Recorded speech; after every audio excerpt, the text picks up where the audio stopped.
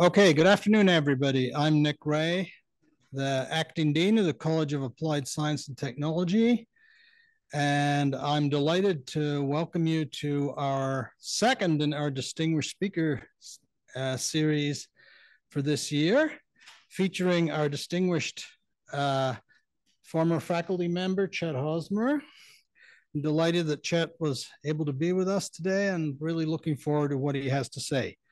Um, so I welcome you here to our campus in Sierra Vista, and I just like to do a few thank yous uh, for folks who've worked on this event and made it possible. Uh, Ariella Valencia uh, over there. Uh, we have Stephen Gallo, who's been working on the technology. Um, Meredith Weinrich, who also helped with the organization of the event. Um, and uh, our dean in exile, Gary Packard, who came up with the idea of uh, inviting and recognizing Chet in this series. And you'll be hearing from Gary at the end of the program. Um, we do have another one of these uh, coming up in April. And I'd just like to invite Dr. Dmitry Nuralayev to say a word or two about the event on April 11th. So you can put it on your calendars. Dmitry.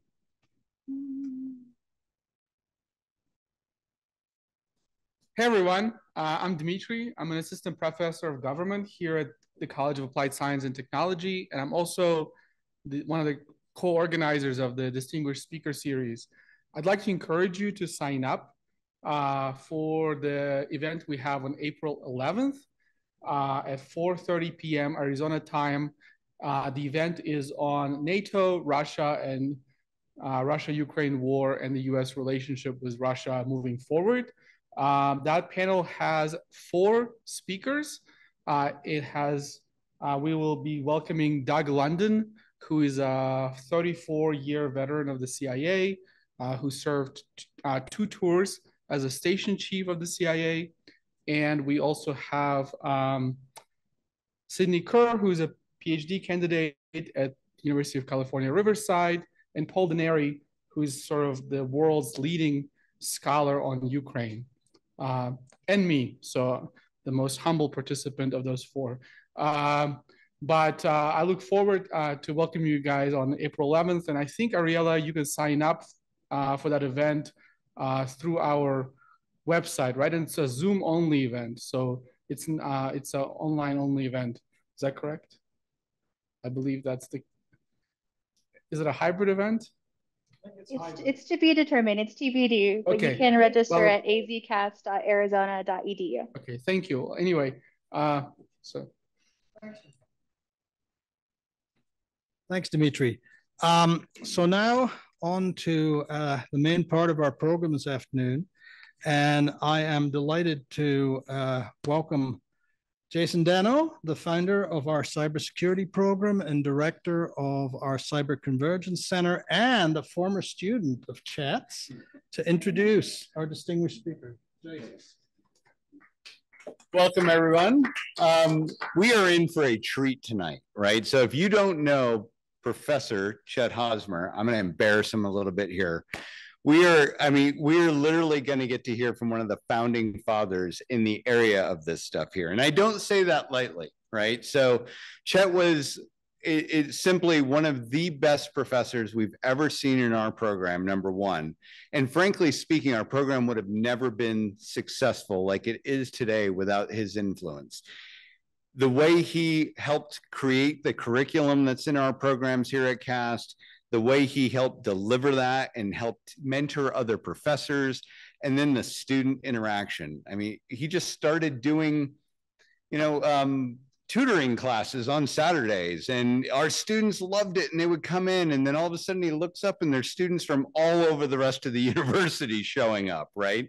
Um, but that is as critical as that was to our program and to our success such a tiny little thing in chet's world so he's done little minor things like work on Air Force One and write, I don't know, like 200 books by now, Chet, something, something like that. But he's literally written the book, the literally written the book on data hiding, which we're gonna hear about today and Python forensics and whether it's high tech crime that he's been working with or research at the Air Force Research Lab or about a hundred other things, right? Every time you turn around, you're like, oh, wow, he did that too. And it wasn't, uh, he was a guy on a team in the back that might have done it. He was the guy that did it, right? And you look at all these other people that are leading parts of our industry right now. Oh, they worked for Chet or they were a student of Chet. And fun fact here at CAST, I actually took a course from Chet way back when during my master's program at Utica. And then I came back to the next residency and I literally chased him down. I was like, we got to work together, right? And then we tricked him to come here. And then one of our other professors also took courses from him. I think a few professors have. So he went from being our professor to being our peer to being our mentor and so forth. And there's no place you can scratch back in technology all the way to industrial controls. I mean, I'm not sure what you don't do, um, levitation or something like that, but I think he walks on water. So with that, let me introduce Professor Chet Hosmer and a compelling, um, you know, briefing tonight. Great. Thanks, Thanks you Well, um, thanks, Jason, for that introduction. No pressure. Um, um, I want to basically share some things with you tonight, but first thing I want to do is thank you for just inviting me to come. Um, this is a, a great place um, to have worked for several years and working with Jason and the team and the dean and everyone here, uh, professors that um, that I know and we've had great relationships with um, have been just a joy. So I just want to thank everybody for their part. And obviously the team, you know, at the Cyber Convergence Center um, uh, that we work with every day. And I had the opportunity to spend some time with them over the last couple of days, learn some new things from them. And um, that we're going to actually share a little bit about that today as well. So let me go ahead and get started. So we're not here till nine o'clock. As um, Jason mentioned, we could talk about things for a very long time. So today I'm going to talk about the threats of AI generated fake digital photographs um, in social media. But before we get into that, I got to give you some background of how we got here. In other words, what are the things that um, led up to this in the form of steganography and data hiding and covert communications and those kinds of things. So you understand what the history of this was. We can jump right in to see what um, is happening in the world today, but I want to basically make sure I set a foundation. So we'll um, we'll try to actually do that today. So as Jason mentioned, um, um, I'm an author, um, assistant professor, retired from here, and the founder of Python Forensics for the last 10 years, where we basically provide um, free software to law enforcement um, and the, the, DoD to basically help them with things. So it's just been a great experience with Python um, to be able to, um, to do that from that perspective. So the presentation today that I'm going to talk about has several parts. I'm going to talk about, as I mentioned, the background and history of data hiding, which is basically steganography. And moving on to fake photos. And then we'll talk about some of the implications to social media that are associated with fake photos. And we'll talk about the acceleration of fake photos based on the introduction of artificial intelligence techniques that is driving it. And then we'll talk a little bit about, well, what is our best defense against such things? And what are some of the key next steps that are going to happen and are happening right now because of the um, driving um, of new AI techniques in order to build these fake photos and videos that are out there. So that's what I'm going to talk about tonight. So a little background and history of steganography and data hiding. So you may have heard of the word steganography and you might wonder, well, where did that come from? Well, it has the Greek roots of steganos for covered and graphy for writing. So basically, if you put those together, that yields covered writing.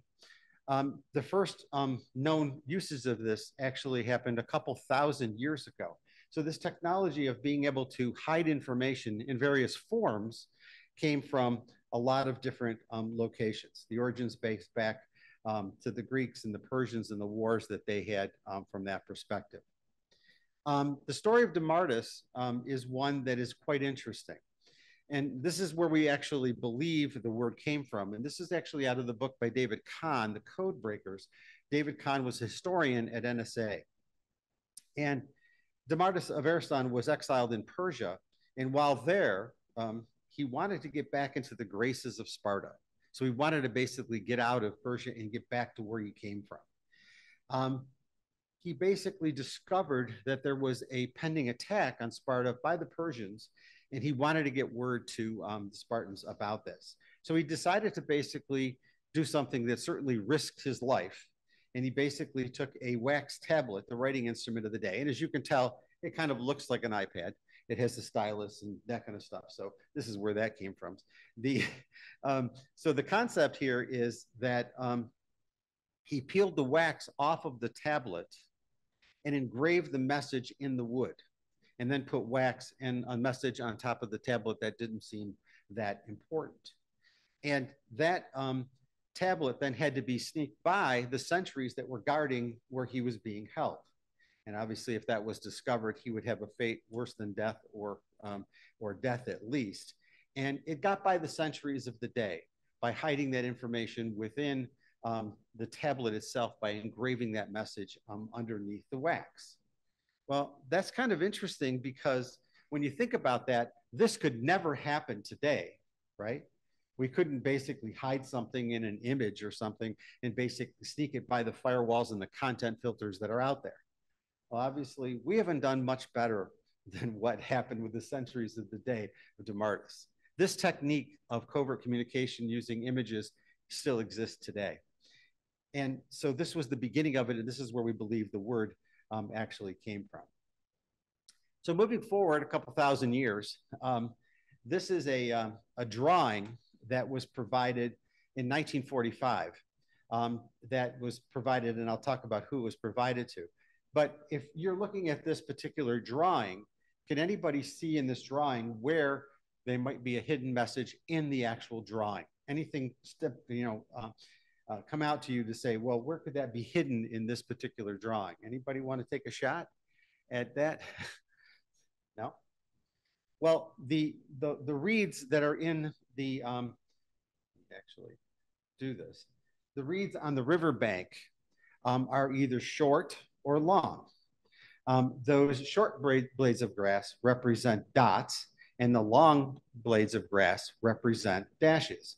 So that represents Morse code that was basically embedded in this drawing that was prevent, presented to Colonel Harold Shaw in his visit to San Antonio in 1945.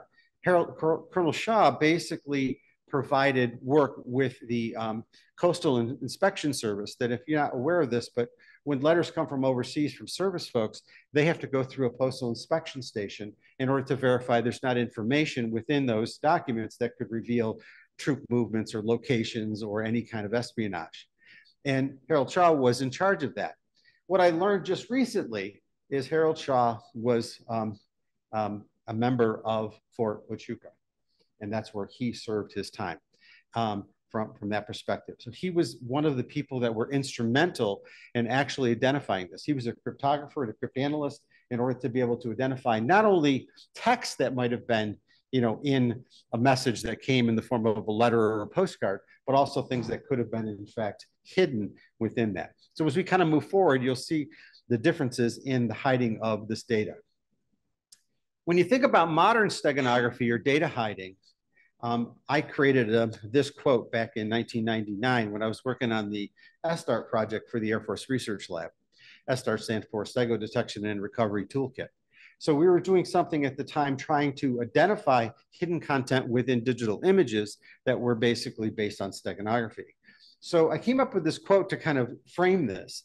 And it with steganography, the modern steganography goal is the hiding of data within a digital carrier, such as a photograph, video, or audio, is accomplished by slightly altering an insignificant characteristic of that carrier that does not appear to alter the normal rendering of the carrier. So in other words, we want to be able to embed something, let's say in an image or an audio file or a video that doesn't actually change the visual rendering of that particular um, uh, image. So in this particular case, I love to use the image of the Mona Lisa. So anybody here not seen the Mona Lisa before? You have an expectation of what this looks like. It's probably one of the most well-known images in the world that everybody has an expectation of what it looks like. But the image on the left is the original um, digital photograph of that. And the image on the right is the same image, but it has a 250K Word document embedded in that particular image. So this is what we were up against in order to be able to identify and detect content within that kind of an image. And so working with the Air Force Research Lab, we were actually building technology that could identify and detect content that were inside these images. And you might say, well, how do you actually do that? Well, if you think about the way digital cameras work today, and what they do is they basically take in analog information and turn it into digital data. And then they turn it into a file, like a JPEG, for example. And so that process that actually occurs is normalized because it is software that is driving that process. So over the years, we have modeled that process so we understand how cameras actually produce digital photographs and what to expect. The simple example is the cameras help us right? So if we take a photograph, um, it will make sure that we don't have shadows around people's faces. So it makes alterations to the images that we're generating in order that we take better photographs. Based on that, we can model those characteristics in order to basically make sure that those images um, came from the original camera and weren't altered or manipulated by um, steganography. So moving on to deep fakes, and I'm going to show you a couple really simple ones, and then we'll move on to ones that are a little bit more complicated. So one that you probably haven't seen before, or maybe you have, this is the cover of National Geographic in 1982. So you might say, well, that looks like a pretty reasonable photograph. There's nothing wrong with that. Well, actually there is. They moved the pyramids closer together to impact the scene, and they added the camel riders um, to this scene. In addition, um, in this particular issue is one of the most powerful images um, ever produced by National Geographic, and that was the Afghan um, woman that was in that particular issue. And that image was also altered and faked in order to be able to make it, quote, better. This drew a lot of criticism throughout the world of photographers and journalists saying that we have to basically um, ensure the quality and the integrity of photographs, and we can't alter them so that people can trust them. So this is something that we're working with today. So I'm progressing kind of slowly here, but I want to understand the history of this and how this has come about and how there was an uprising in 1982 about this particular image and the image of the Afghan woman that was in that particular issue. So we've progressed to then using things like simple Photoshop images to take two aircraft that appear to be flying way too close together right? And this is really simple to do when you have kind of a solid background and I can take airplanes and basically place them on that background to kind of show that this is, um, you know, a um, something that could happen or a collision that might occur. And this kind of circulates to the internet. So understand something happens with images that are on social media or around the internet. People download them and use them. So now they're on their computers. So remember what I said earlier, what if those images contain more than just the photographs? What if they contain other content in those in the form of steganography, right? So, and the more popular the image, we'll talk about those, the more popular the image and the more times it's spread, um, the more people can potentially have that contraband that is embedded inside of images that is really dangerous. So this is a, an image from Hurricane Sandy that happened outside of New York City. And this image never happened, right? This is a fake artificial intelligence generated image to basically scare people. This spread on social media and actually made it onto at least one evening newscast um, in New York City, looking like the hurricane was actually coming into um, New York City. So this is the kind of impact these images can have because we look at these images and it looks real right? So what we've done is develop software to basically identify artifacts within these images that basically can identify um, those um, areas. So in this particular image, you may not be able to see this. In this particular image, there are little dots here of all of the areas within the image that we found anomalies within the, that particular image. This is extremely well done, but we were still be able to identify on the riverbank within the clouds um, that there were alterations. Now, one of the funniest sides here is if you ever go to the Weather Channel and you see the images that the Weather Channel produces, those are also enhanced. to make it look worse than it actually is. So you don't can't believe everything because those kind of images are also enhanced to make it look a little bit worse than it is from that perspective. So this is the kind of thing that can be go out there that can actually have a significant impact on people as they see these images. So let's take a look at another image that was actually AI generated as well.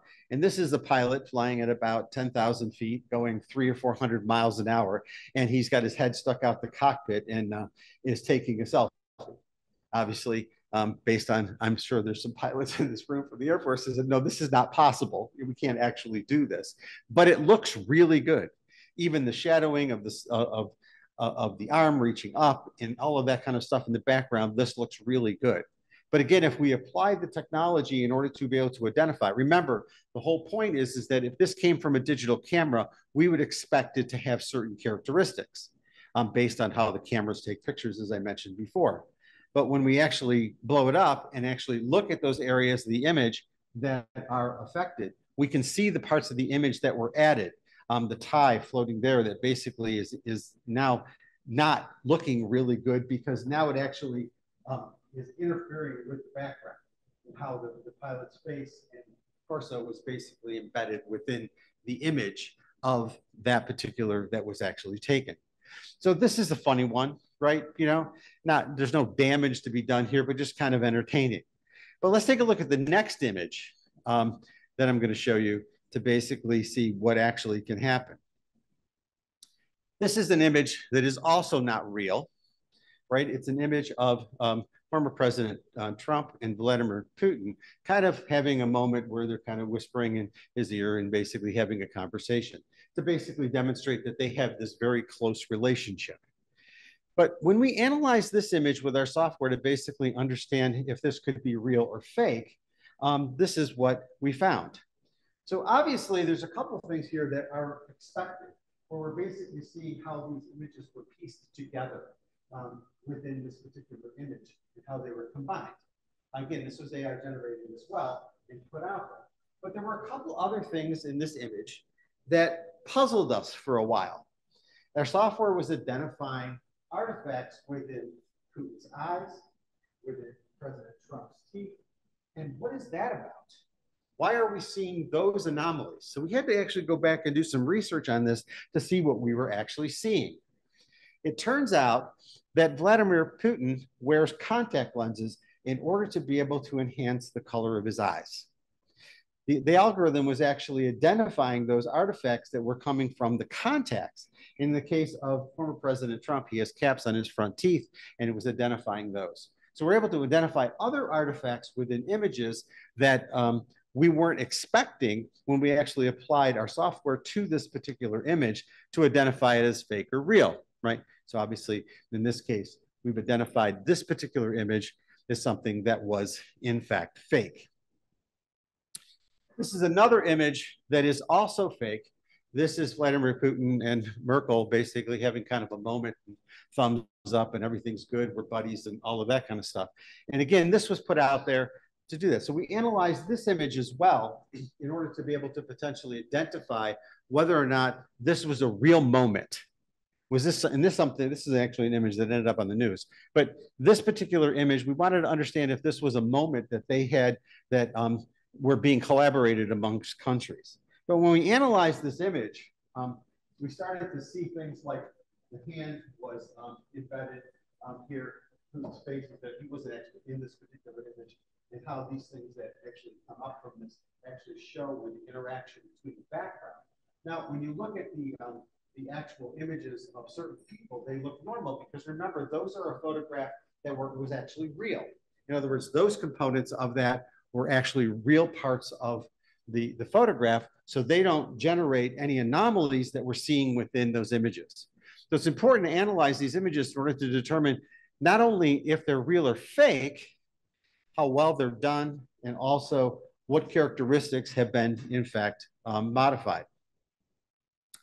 The next image um, is one of Dwayne Johnson and Zac Efron in a movie that was created by um, uh, Paramount Pictures. So Paramount Studios actually produced this particular photograph in order to be able to promote the particular movie.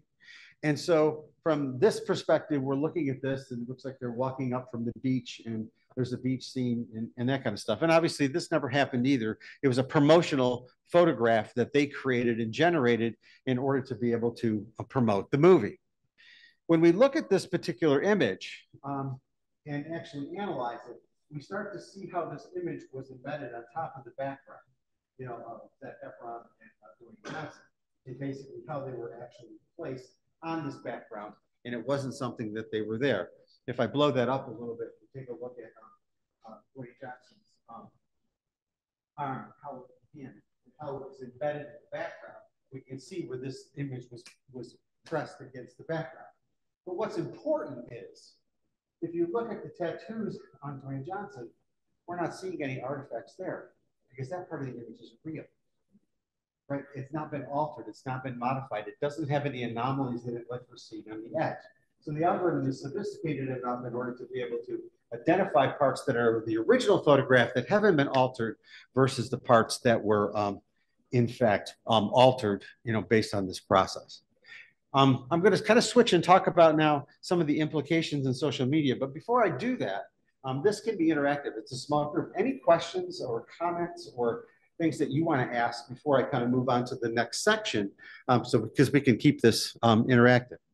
Yes. It's not going to surprise you, Chet, that I'm going to ask a question about ancient stuff and not the. It's not going to surprise you, Chet, that I'm going to ask a question about ancient and not modern technology. So, can you tell us how it was that uh, Dem- Demaratus actually alerted the Spartans to the fact that he had encrypted that tablet. That seems to be always a problem when you encrypt something and the other side is not expecting. Is not expecting it.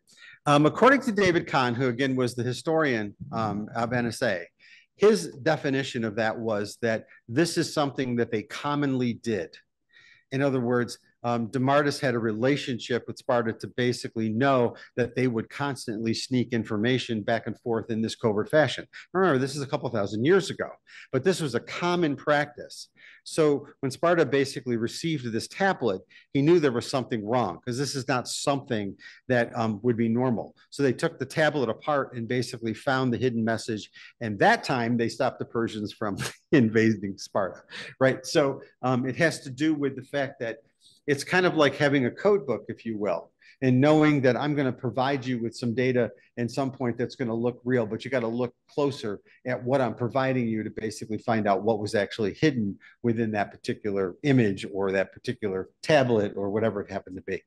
But great question. And David goes into that in, in the book. Um, it, just a side note, David had a lot of trouble getting that book published um, because NSA was very concerned about the kinds of things. This is like a 700 page book about all stories from history. You might be interested in that.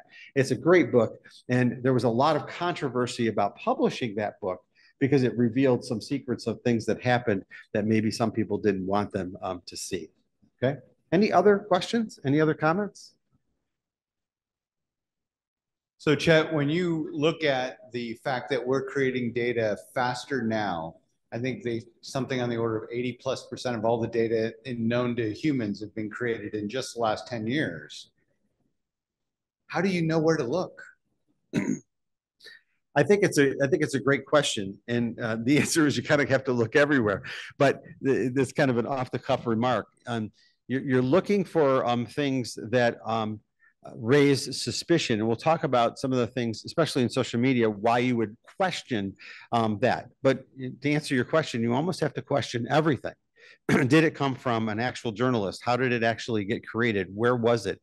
And are these images that we're looking at um, have been altered? And we can look at that with tools like this in order to be able to identify those if you're suspicious. But frankly, you should be suspicious about everything from an image to an audio file to text that's being posted, let's say within social media, um, because all of it can be questionable. And, and so the, the, the concept is, is that there's a lot of hidden content out there. We, we all know about the concept of a dead drop, right? And this technology is perfect for a dead drop. I can place, I can post a photograph um, on, an, on a website um, that's a legitimate website. And if you know what time to go get that particular image, right, to have the content. Um, one of the things that happened, a story that I should um, I should tell or should have put into this briefing was we had identified based on some of the things that we were looking at um, on the project that we were doing for AFRL that um, there were images in eBay that um, contain hidden content. Okay. And so when we looked at those images, we were looking at images and we were getting hits with our algorithm that, hey, this particular image has something embedded in it. So what we did was we monitored that particular image on eBay over several weeks. And we noticed something significant. The hash of that particular image changed. So basically, not only were they sending a message, they were using that same image to distribute multiple messages. So when you find something like that, there are other techniques that we can use to basically monitor that behavior to determine if it was in fact being used, let's say, as a dead drop, where people are covertly communicating using that particular image. Um, so um, that was um, a predicate to the, what happened in 9-11 and how Al-Qaeda was using um, steganography in order to be able to communicate with their operatives.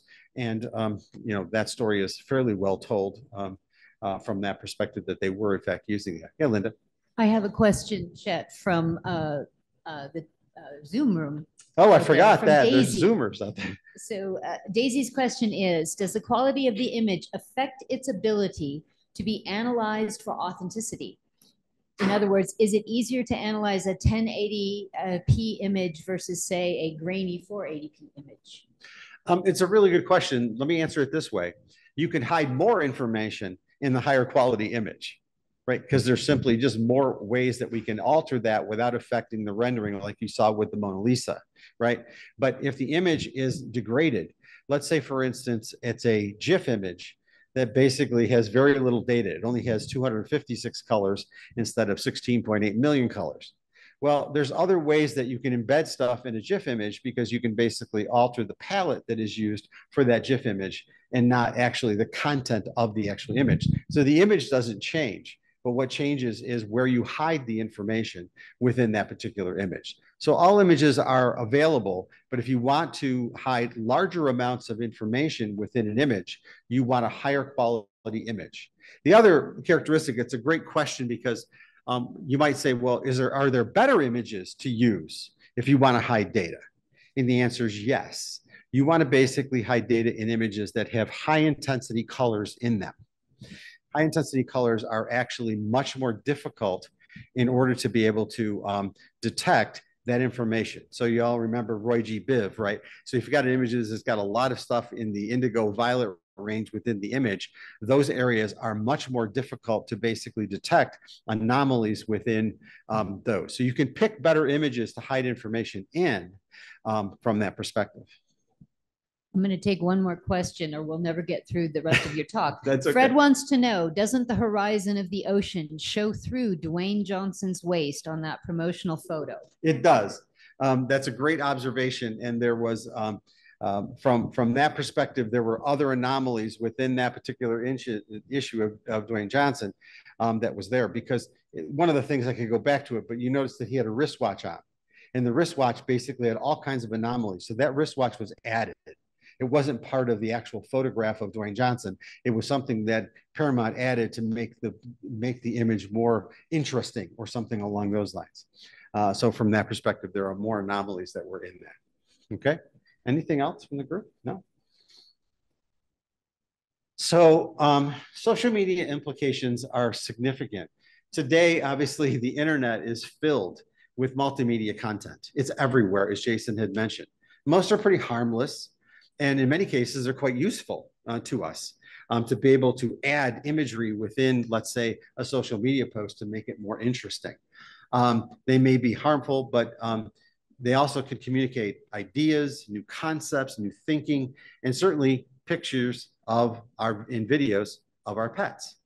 However, a growing percentage of those um, in multimedia content have been manipulated to deceive, change the way people think, change the way how they act and react to things and believe and ultimately can cause harm. So the question, simple question is, how do we tell the difference between real and fake and fake versus fiction and ultimately good versus evil? So I want to show you another image here. And I, before I show you this, I want you to understand that this particular image was created with artificial intelligence um, by simply providing prompts to um, the AI engines. So there was no real image um, that started this particular thing. So we wanted to basically create a promotional image regarding a Buffalo Bills um, football game that was upcoming so that we could spread it around. Um, this is Vinny, that's Sammy, our two um, Labrador retrievers. But everything else in the image was created by um, a AI engine to basically create this. It's remarkable how good this is and how simple the prompts were that we had to use in order to generate that particular image. And it's really cute. So people are going to take this image and they're going to send it to other people um, because it's kind of cool, right? So um, they're going to pull this down actually do it. So um, that's the power of what we can do today with AI and just a few prompts and a couple initial photographs that you can basically submit in order to be able to do that. Make sense? Everybody kind of getting this? Quick comment from Mike Duran. Uh-oh. It's fake because the Bills are winning. um, Mike Duran um, is a uh, is a Tampa Bay Bucks fan, and I had a call with Mike um, a few weeks before the playoffs and said, you know, if the um, Buffalo Bills in the AFC actually um, end up in the Super Bowl with the Tampa Bay Bucks, we're going to have to go to the game, but the tickets are eleven thousand dollars each. And so we both were a sigh of relief when this didn't happen because we didn't have to pay for the tickets for the game. So let's kind of move on and talk about where this goes. We've all heard the word propaganda and where did it come from? Um, Ber- uh, Edward Bernays basically made a comment that said there are invisible rulers who control the destinies of millions and basically by using propaganda. The interesting thing about that quote, it occurred in 1928. So this concept that we deal with today at the speed of the internet and social media and the platforms actually is a concept that has been around for a very long time. Everybody knew if we can basically fool the people into believing something, change their mind, change the way they react, change the way that they think about things, we can actually influence the planet and the globe. So that's how serious this particular issue is. It's not just fun. Vladimir Lenin, among others, was quoted as saying, A lie told often enough becomes the truth. So when we think about social media, and the propaganda that is spread there and how often it's spread, um, it goes to that particular um, quote. I basically gave a quote to Forbes magazine a number of years ago that said, in the present day computational propaganda world we live in, we can actually update this particular theory. If you can propagate the lie, create a trend, and amplify the results, you can fool the masses into believing almost anything. And the reason that the photographs are um, Im important here is that um, they really enhance the lie because they make things more believable. So question is, how is this then enhanced um, by social media today? There are several methods. One key approach is to add fake photos, manipulated video and audio. This not only enhances the lie, but also makes it more tantalizing for people to repost share, and start a trend. The concept is a picture, right, is worth a thousand words. Well, where did that come from? Well, actually, um, that phrase came from Frederick Barnard, who published an article referring to the effectiveness in graphics and advertising with the title, One Look is Worth a Thousand Words in 1921. So, again, this concept of combining graphics and art and photographs with text to basically make it more tantalizing has also been around a long time, but it just couldn't spread as fast as things can spread today, right? With social media and the internet um, from that perspective. I might say a picture contains a thousand great point. Uh, great point. Yeah, pictures can contain, contain a thousand words, and videos can contain millions of words. Um, as Jason knows, in the class that we taught, we were able to embed the entire works of Shakespeare um, in a particular video that we were um, actually using. So, actually, this concept of, of using social media and manipulating that concept so people would share that information is extremely dangerous. So echo chambers in the, in the, digital world are these that basically continue to put out information that is the same but slightly different. And this is getting better today than it was even a couple of years ago because it's AI. So instead of spreading the same message, the message gets changed and modified slightly by AI in order to make it look like it came from someone else. So the echo chambers use bots in order to be able to spread this information out there. So the concept is you receive tweets that tend to reflect and reinforce your own opinions. And you might say, well, how do they know about my own opinions? And I'm sure all of you have had a conversation with a partner or a friend, um, and Siri was listening, and you're thinking about buying a new dog toy. And immediately after that, you get a message from Facebook indicating, hey, here's some new dog toys. Right. So that information is being spread no matter what we do. And I'm sure everybody in this room has sort of experienced some part of that, that maybe um, at the time you said, hmm, well, I'm not sure that was, that's weird, but whatever. The chambers create misinformation and distort your perspectives, making it difficult to consider differing views. So if you have a particular view on a topic, the echo chambers can basically provide you with information that supports that. They're driven by what we call confirmation bias, um, which enhances and reinforces your existing beliefs to basically make them stronger and stronger and stronger so you can't come to the other side. Filter bubbles, on the other hand, um, or an internet phenomena that basically algorithms that show you content that mimic what you previously have expressed. Carnegie Mellon, a couple of years ago, wanted to understand a little bit more about um, how the spread of information regarding COVID 19 and the coronavirus was out there and being spread on social media. um, so, bots are used to express opinions, obviously, Twitter and now X are used to express opinions, share lies, and manipulate information while simulating live user behavior. So, what they found in their research, uh, CMU basically analyzed 200 million tweets during COVID 19 uh, since about 2020. They found that 45 to 60% of them came from bots, not from actual real people obviously automated user accounts that mimic human interaction. And these continue to get better to make them look more real, like they're actually real people. In addition, what's more, 82% of the 50 most influential COVID 19 retweeters were bots, and 62% of the top 100,000 retweeters, according to the report. So not only was there a lot of these that came from bots, the ones that were most effective came from bots uh, from this kind of concept, which is really scary to think that people were reading this stuff and it was actually just manipulated data that was being spread um, in, in, in that fashion. So AI can then help to accelerate um, the distribution of fake photos and fake videos. So there are many different ways that they do that. Um, AI generated photos uh, can be used to, obviously, as we've talked about, create convincing and misleading information uh, to spread, again, fake news um, that's out there and a fake narrative. Now, we know what's happening in the world today, and I can't imagine there's there's probably no fake information coming out about upcoming elections and those kinds of things that are out there. Um, so we have to be careful about that. Fake photos can be used to manipulate public opinion and sentiment. Sentiment is so important today in the way that we actually interpret data that is coming at us from social media and other platforms. Um, they create um, and, and, devise inflammatory content that can uh, spread, again, propaganda that we're looking at. Um, AI generated images could be used to impersonate individuals to bypass security measures based on things like facial recognition. I'll talk about in a minute some of the technologies that are out there that are most commonly used um, out there in order to be able to perform this.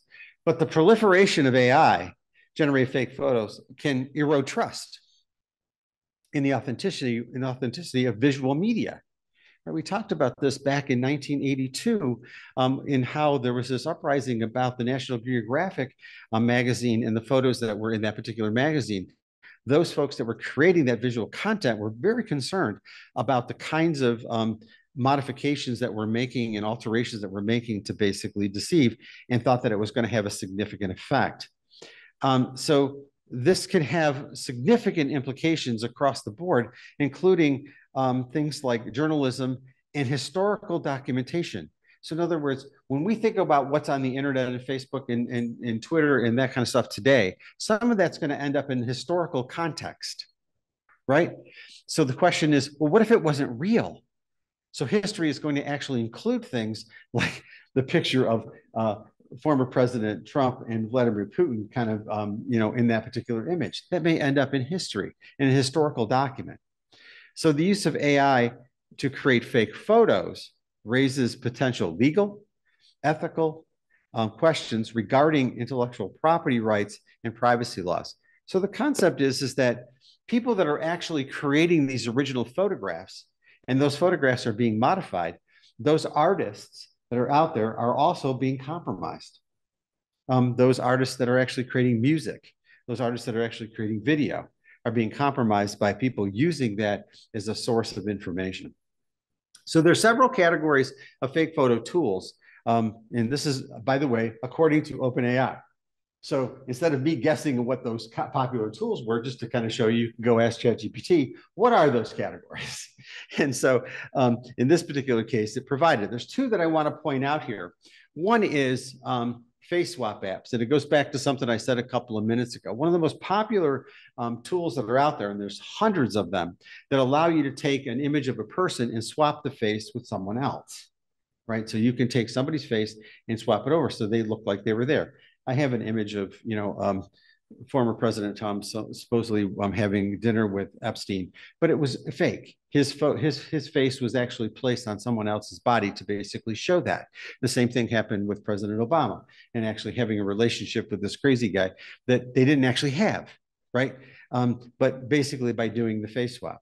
The last one is the automatic text to image generation. This is really um, very interesting in what can happen. And not only can it, it can generate fake photos, but it also can create fake videos from that. And all you do is basically um, create prompts that tell the AI tool what I want to see.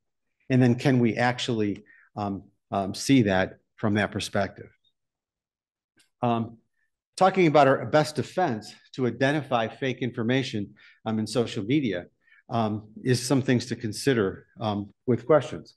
One is, does the content of a post or an image and, and related content tend to provide only one perspective or point of view. That's important because journalists typically will provide balance, at least the good ones, um, to basically talk about what's real um, in this and what are the different uh, parts of the argument that are associated with a particular issue. If it doesn't have that, you should raise questions of why doesn't it have to see the other part of this? What is the other point of view here that I'm missing? Does the message, images, and content repeat and today, what's happening with the repeating is the repeating is not just a simple repeat, right? It is, in fact, a repeat that um, is modified so it looks like it came from some other source. So when you see messages that have basically the same content that are slightly changed, you should question that. Does the information provided seem to lack um, substantive evidence? In other words, if it's just somebody saying something um, without any evidence associated with it, the question is, um, is that something that we should look at? Because journalism will provide substantiated evidence and vetted information before they put something like that out. The final point is when alternate points of view are posted, um, are they dis, um, are they disregarded or worse, dismissed or even attacked to basically um, indicate to you that that's a false narrative that we want to basically eliminate from what you're looking at. That's a really high um, um, um, thing that we should be looking at.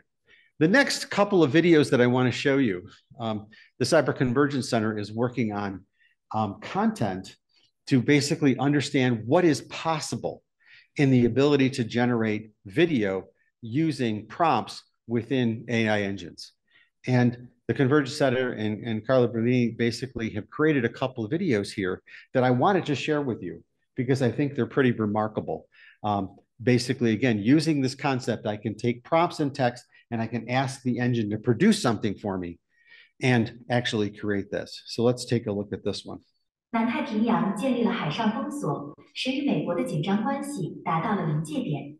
奥尔瓦纳政府尚未公开透露封锁背后的具体原因，但专家认为可能与该地区的领土争端和经济利益有关。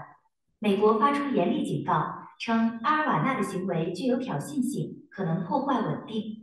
鉴于两国在亚太地区的重大利益，这一出乎意料的举动很容易升级为重大国际冲突。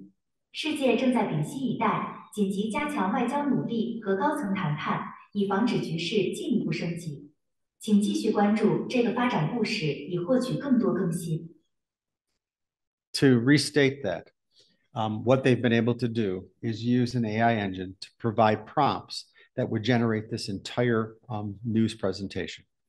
And we had, um, they had one of um, our experts in the area review um, the Chinese, and they were initially fooled that this was not real. Um, and it looks real, it sounds real, the mannerisms are the same um, from this kind of generation. So you can imagine the impact of this um, on someone that's looking at. They did another one, which I thought was really cool. There we go. This is the um, this is one from Brazil. Em uma demonstração significativa de divergência diplomática, o Brasil expressou fortes reservas em relação à percepção de interferência dos Estados Unidos nas crescentes tensões entre Havana e Belezinha. Autoridades brasileiras enfatizaram o princípio de não interferência nos assuntos internos de nações soberanas, destacando a importância de respeitar a autonomia dos países para gerenciar seus próprios conflitos. Essa postura ressalta a estratégia mais ampla da política externa brasileira, que enfatiza a cooperação multilateral e o compromisso com a resolução pacífica de disputas por meio do diálogo e da negociação. Thank you for Carla for providing these. And I saw one.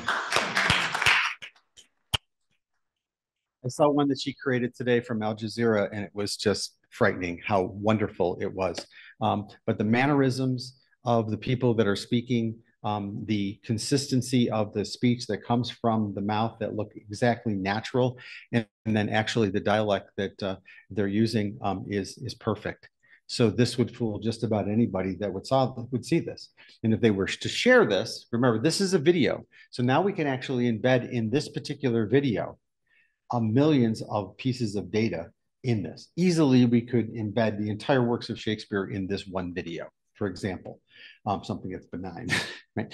Um, in this particular video. So the concept here is not only is the um, are the fakes becoming better, now they've moved into video um, from that perspective, and now we can hide even more information within the resulting um, image. Before I go on, Linda, could you repeat that question? I'm sorry. With the increase of fake or generated images, could you see the wider public turning more to hash validation to determine if an image has been modified? Could this even be a built-in function within digital cameras to write, quote, an original file hash straight into the photo EXIF data? Um, perfect question, perfect timing based on the presentation. Um, three of the major platforms out there have decided to basically do something about this. It's a first step and is not a solution to the particular problem. But in this particular case, OpenAI is now adding watermarks to ChatGPT images created within their platform. So now we can actually look at a watermark, which is more effective in this particular case than a hash, because a hash could be regenerated. But the watermark, um, and there are two different types of watermarks that we'd be dealing with. One is a fragile watermark that would break if any alterations were made to this particular image. And then there's a robust watermark that would remain and can't be easily erased from the image itself. So our ability to do that, and that's what um, OpenAI is about to introduce. Um, Google is doing the same thing it's launching watermarks for AI generated images within its platforms in order to be able to have us a way to be able to identify whether or not a particular image or video um, was actually created with AI. So we can validate those. These are first steps in doing that. Meta is decided to label all AI images on Instagram and Facebook in a crackdown on deceptive content. This is a little bit different because these are not images and content that were generated by Meta, but actually they're analyzing, like we do, images that have anomalies in them and labeling them as suspicious and labeling them as um, potential um, AI generated images. So the platforms are starting to understand the impact of these images and videos that are actually being created that are fake and the impact that they're having on potentially on society and the global environment. So what are your thoughts? I'd like to basically hear from the audience either online or here.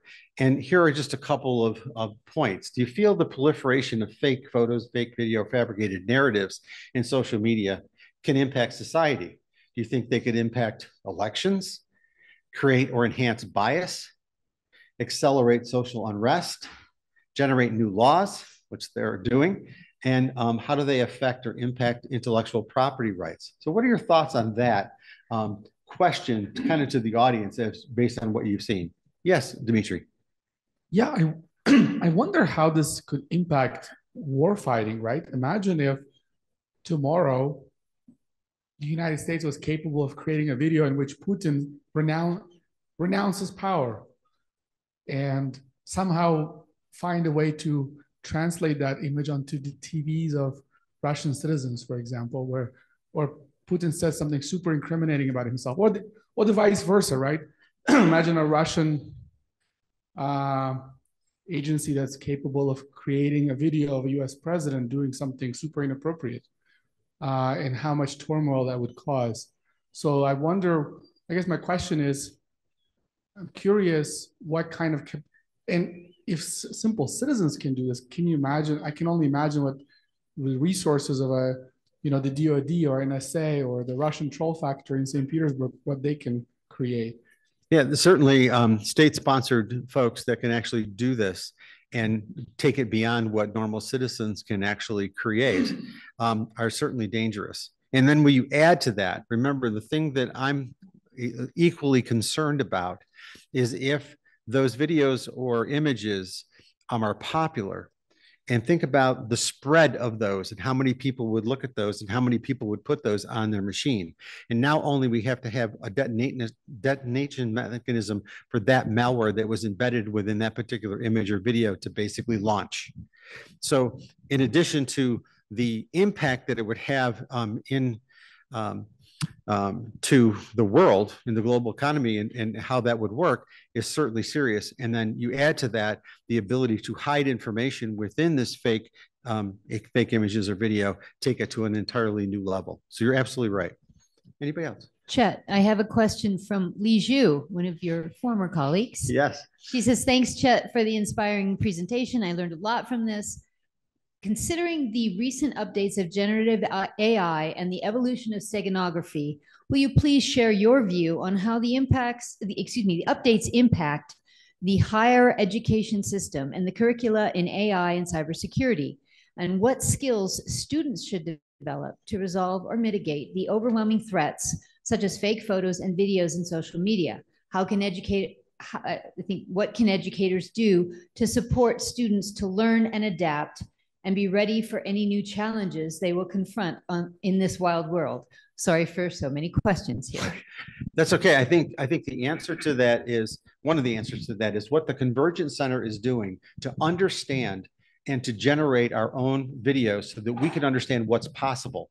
And the more of those that we can create, the better that we can get a handle on how to identify those, to teach students both how to actually generate them and then how to actually determine um, the distinction between something that is normal and legitimate versus those that are not, um, uh, that have been altered in some way or embedded with something. It is vitally important that they understand that this technology exists and how it can be used for, um, for evil but also then how to actually, we can develop new technologies that will help to identify um, those um, images and videos that were created by AI so that we can defend against them, right?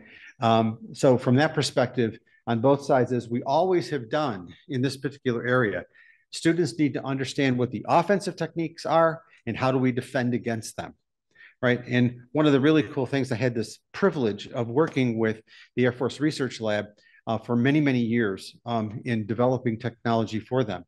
And they, they had this innovative techniques where they had an offensive information warfare branch and a defensive information warfare branch. So they would basically compete against each other to understand how to actually create or build offensive technologies and how to basically defend against those. And the same thing has to happen in education. We have to basically understand how to basically do the bad things, but how do we defend against them? uh, from that perspective. And that may be controversial, but I believe that that's a technique that, um, again, um, in, in the military and in government, we've always used in order to be able to understand that. That was the model that our cyber program was built on. exactly know. is. Yeah. okay. Um, so that's all I have, but thank you. And if there are any final questions, I'd be happy to answer them. Um, and I hope this was um, useful in understanding how we got here, what was the history, and how did we get to this point with the technologies and how they actually have come together where they can be combined in order to be able to create even more risk and more threat uh, by you integrating those technologies into um, social media platforms and how you um, can um, now take those and embed in other information like malware into those that have been done um, in order to be able to um, communicate covert information or do destructive things. So there's this combination of technologies that I want to leave you with to make sure that you understand it's not just about fake photos or fake videos. It's about what we can embed in those that actually cause a significant danger um, throughout the world. So again, thank you and uh, uh, hope you enjoyed the talk. Question, Jay? Yeah, to, to add to that, to that conversation, right? Because I think we have two sides of the coin and it's going to be case dependent. And two, two things that have come up, right? And two points on this. We just got back from our PI meeting with the DNI, with the Office of Director of National Intelligence. And IARPA, the Intel version of DARPA, is building a program called Reason right? And the the DARP, the IARPA manager got up, told us all about reason. It's for analysis. It's it's for Intel analysts, and it's going to say, hey, have you thought about this? And and you know, here are a bunch of sources. And then the first thing we asked was, who's programming reason, and what are their biases? Because yes, I can give you 15 sources, but what if they're all right leaning or left leaning, right? And your counter arguments are purposefully weak when your pro arguments are perfectly long. And that goes back to that bias of really a black female for George Washington? Did somebody think that was cool? But, but so the the algorithms even in our DARPA programs, right? And our our case was we're not passing judgment, but we need to referee both sides of that aggressively. And then on the autonomous components, we might not have done it yet for good reason. The Air Force's loyal wingman in a simulation killed its operator because it wouldn't let it score high enough. It came back and took the operator out so it could complete its mission. But the Russian Lancets are now being launched so they can be jammed by EW and they're autonomously deciding what they kill. So the Russians are actually using autonomous uh, targeting now. So this AI is going to be out of control pretty quick. I think that, you know, one of the ways that we've dealt with that on a smaller scale in the past is using voting, right? So basically, algorithms that are independent are going to vote on what to do. And then the Intel analyst has to basically look at that voting that came from the multiple sources in order to be able to make a human decision right? If it's possible to do it in time. If not, you might have to take the voting um, um, based algorithms that we know very well how they work in order to be able to um, identify, you know, what would be the best course of action, right? I mean, let me give you an example that has nothing to do with warfare for a second. Um, um, one of the big controversies of AI cars, cars that are basically self-driving, right? um, or even cars that basically can make certain decisions based on crashes that they're going to be in.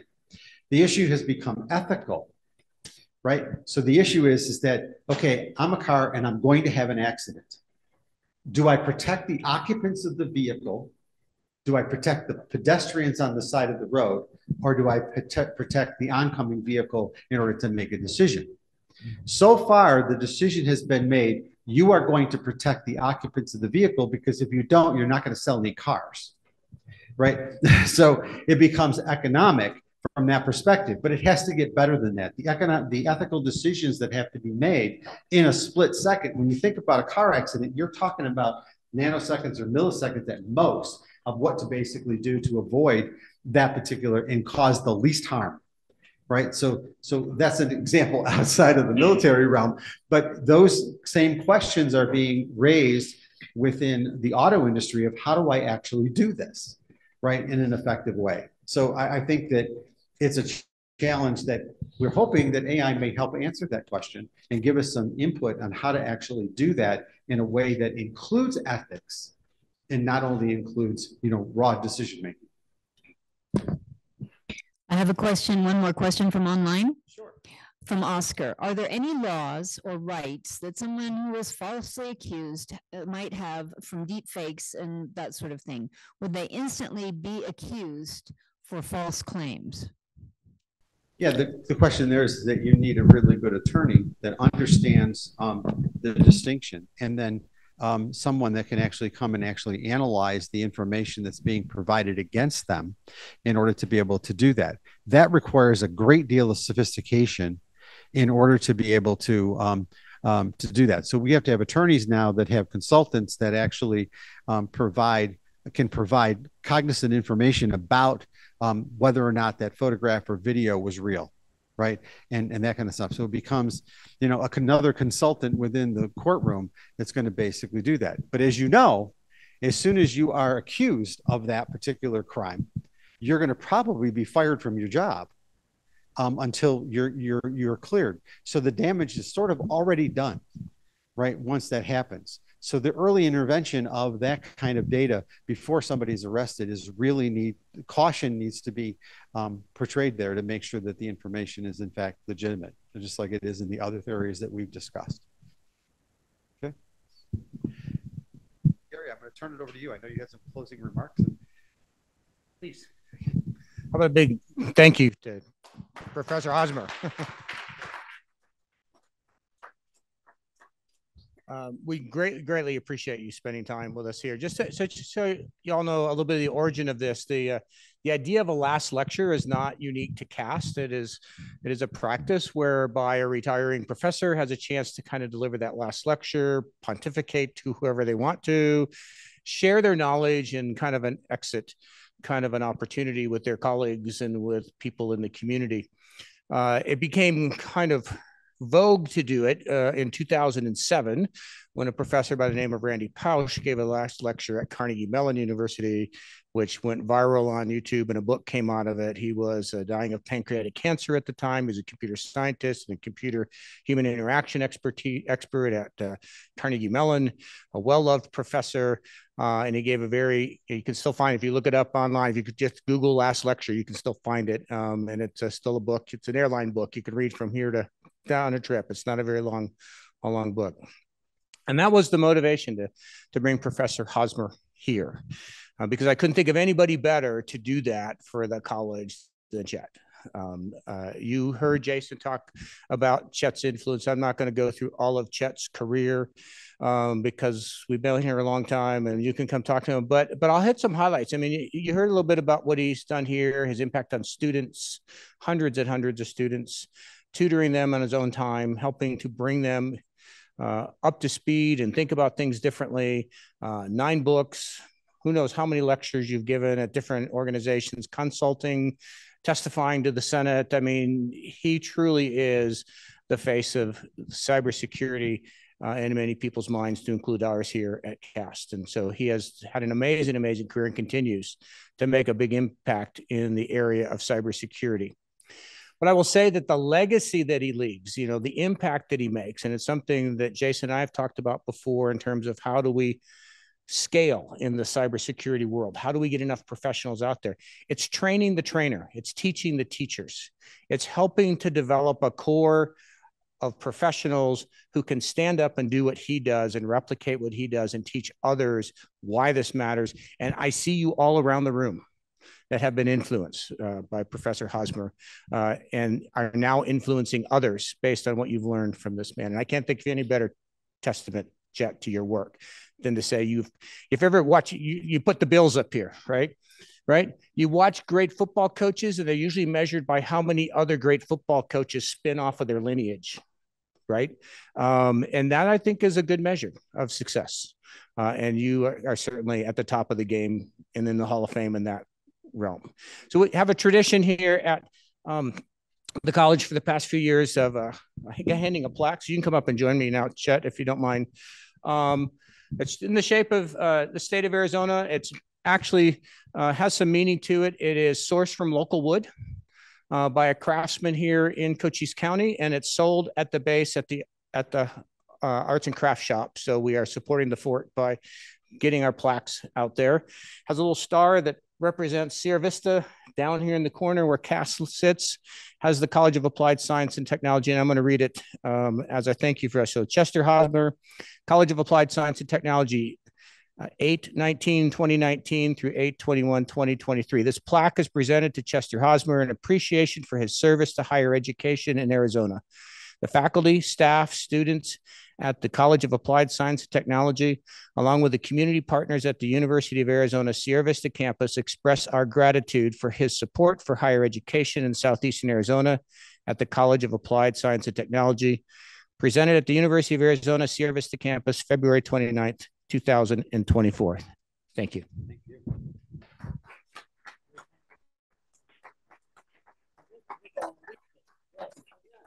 Okay, so we won't do this one again for the four years. Right. Thank you. Thank you very much.